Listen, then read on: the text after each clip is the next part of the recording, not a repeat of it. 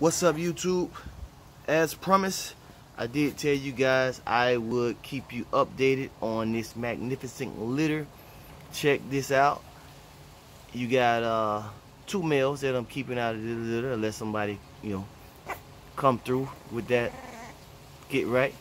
Um, Tango and Cash. Tango is solid. Cash just has the white on him. You can see the body on these. They're four weeks. I'm sorry, they're going to be five weeks tomorrow. So we're going to call them five weeks as of tomorrow.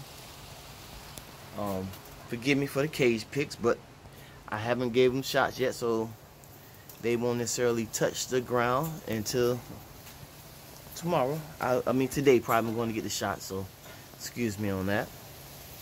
You can see the structure. You can see the bone. Uh, that little one in the back, that is Debbie Cakes.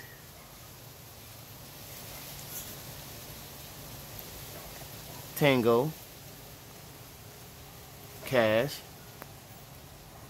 Debbie Cakes.